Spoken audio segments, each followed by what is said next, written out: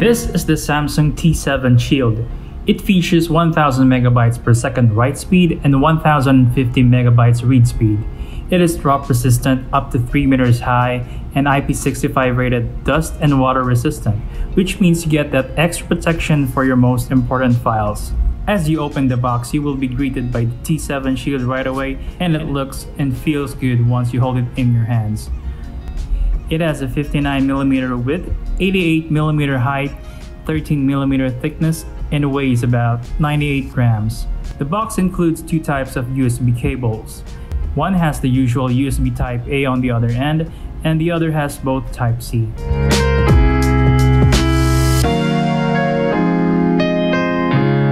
This thing has a rubber matte texture for its exterior and it feels great to hold it in your hands.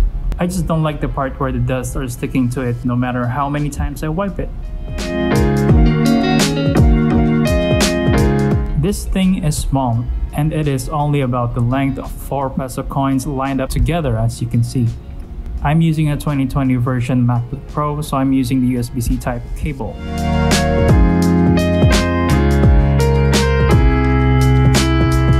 Jumping off to the screen, you will see some installers for your computer. The software gives you additional security when you plug the T7 Shield into your computer, which asks for your password. I just uninstalled it because I don't want to keep on entering passwords every time I need to use it. So the main reason why I bought the Samsung T7 Shield is to give me more storage space while I'm editing stuff, especially videos. This thing enables me to edit anything without the need of having the files on my computer, plus I can edit my projects on any computer whenever I need it.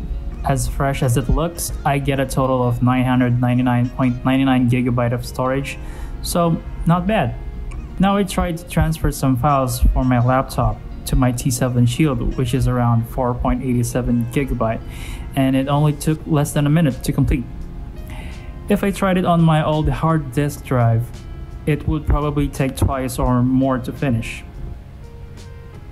Evident enough to see and feel how fast this thing is, curiosity got me to try another batch, which is around 15 gigabyte in total size and it was completed in only less than 5 minutes.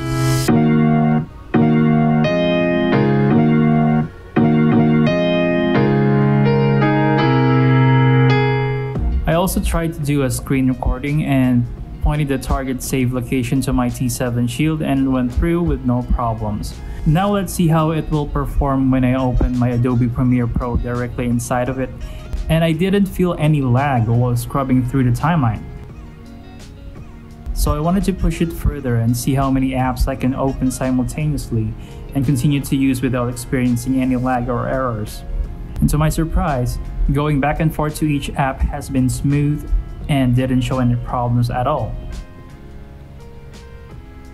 For the speed test, I got worried because it didn't get me the speed that was originally advertised. So I did a bit of research and found out that I needed to format the T7 Shield into the Mac's native format, which is APFS.